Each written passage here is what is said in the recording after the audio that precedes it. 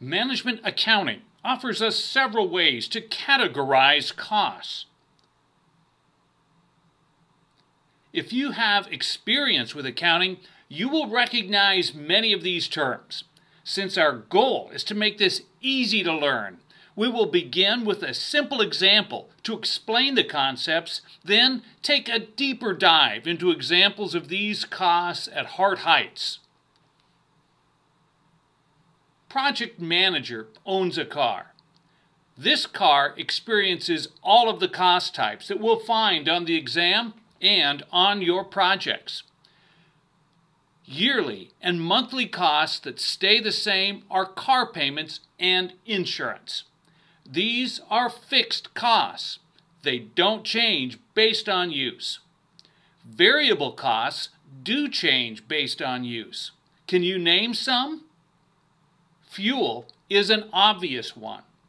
And we wear out our wipers and tires at variable rates, depending upon use. All the fixed and variable costs we've described so far are direct costs.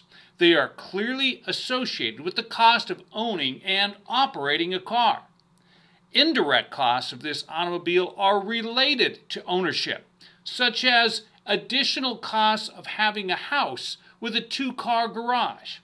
Some utilities and property taxes can be attributed to the vehicles in Project Manager's family.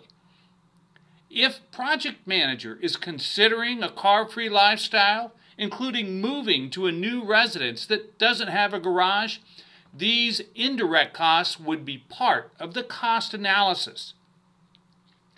Project Manager will drive this car until it is at the end of its useful life, then donate it to charity.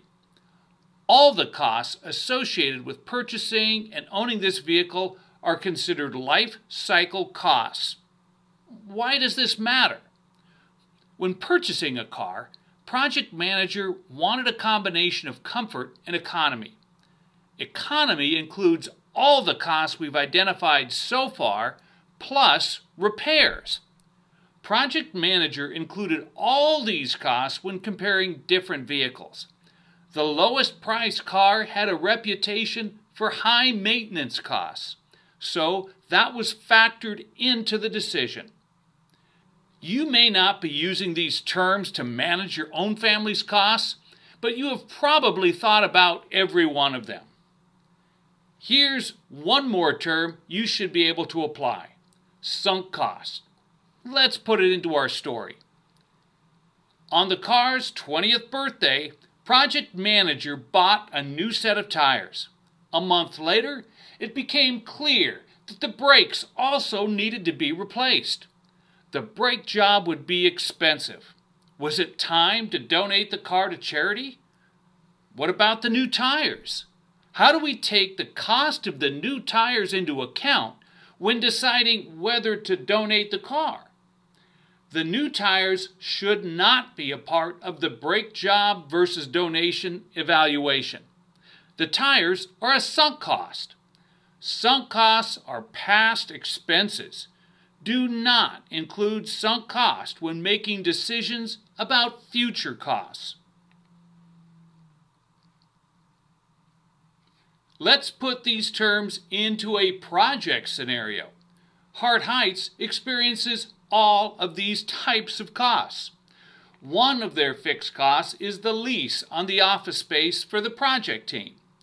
An example of variable costs is architectural services. It is much easier to forecast the fixed costs of the lease than the variable cost of architectural services. Both of these represent direct costs, costs that are directly attributable to the project. Of course, all the costs of the land, materials, and construction are direct project costs. What about indirect costs? Well, every Hart Housing employee costs more than just their compensation.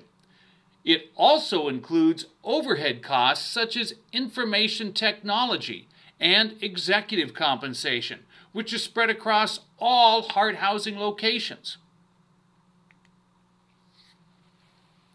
consideration of life cycle costs is very important for a facility that is expected to operate for a minimum of 25 years. Design decisions take into account maintenance and utilities, two major operating costs. The experience at other Hart housing buildings influenced decisions about materials for flooring and siding, for example. We saw before that sunk costs are costs that we have already experienced. Here's an example of how this affected Hart Heights. At the end of the electrical design activity, when all the wiring plans were complete, the project management team decided to evaluate using solar powered lighting in the parking lot and building exteriors. They created a cost comparison. Notice that traditional costs include electricity, while the solar costs don't have electricity but do have additional design costs. These all represent potential future costs. They did not factor in the cost of the electrical design work that had been completed. That is a sunk cost.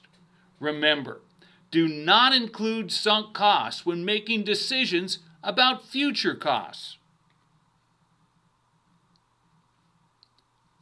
When is a cost not a cost? When it is an opportunity cost. This is one more accounting term that every project manager should understand. We use it when choosing between multiple opportunities. Opportunity cost is the value of the next best choice not selected.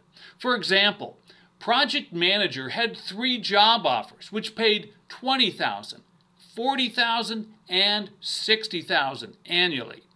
Project manager chose offer C the opportunity cost of choosing offer C is 40,000, which is the next best offer. Microsoft founder Bill Gates famously dropped out of Harvard to start Microsoft. The opportunity cost of starting a business was the college education and degree. Opportunity cost is most often associated with project selection. When we have limited resources, we know that choosing one project will prevent us from performing another project. Through these examples, you can see that the cost terms you'll see on the exam are practical and common sense. Sunk cost and opportunity cost are both concepts that apply to making choices within the project or among projects.